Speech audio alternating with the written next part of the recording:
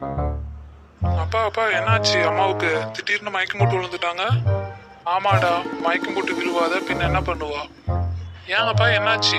மயக்கம் போட்டு விழுவுற அளவுக்கு வீட்ல என்ன நடந்துச்சு? அதை ஏன்டா கேக்குற? உங்க அம்மா உன் பொண்டாட்டிக்கிட்ட பொட்டுக்கடலை சட்னி செய்யுமா தோசைக்குன்னு சொல்லியிருக்கா.